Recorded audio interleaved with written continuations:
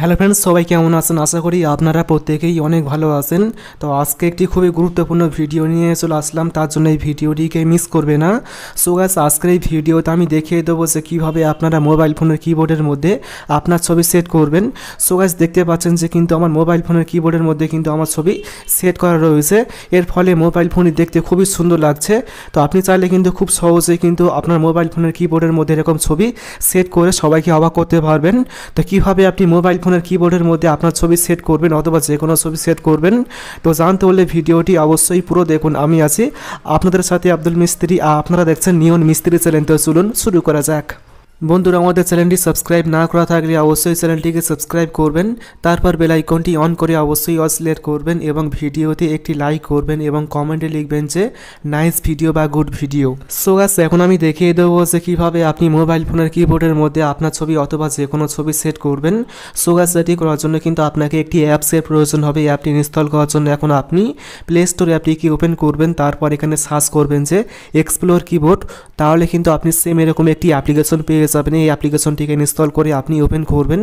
Open করার পরে এখন আপনি সুইচ টু এক্সপ্লোর এই অপশানে ক্লিক করবেন। তো ক্লিক করার পরে এখন আপনি ওকে করবেন। তারপর এক্সপ্লোর অপশানে সিলেক্ট করবেন। সিলেক্ট করার পরে এখন আপনি এই ল্যাঙ্গুয়েজ অপশানে ক্লিক করবেন। এখান থেকে ক্লিক করার পর আপনার পছন্দের যে কোনো ল্যাঙ্গুয়েজ সিলেক্ট করবেন।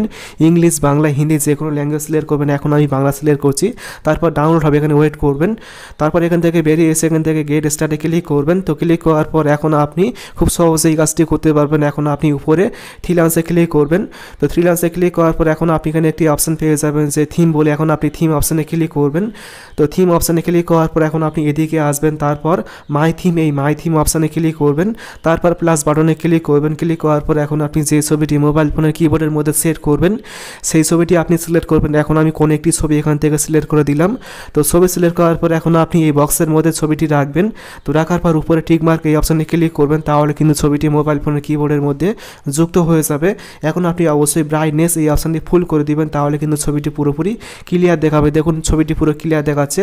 তারপর এখান থেকে নিচে অ্যাপ্লাই বাটনে ক্লিক করে দিবেন, তাহলে কিন্তু ছবিটি মোবাইল ফোনের কিবোর্ডের মধ্যে পুরোপুরি সেট হয়ে যাবে। এবং আপনি যেখানে যাবেন, সেখানে কিন্তু কিবোর্ডের মধ্যে ছবিটি দেখাবে।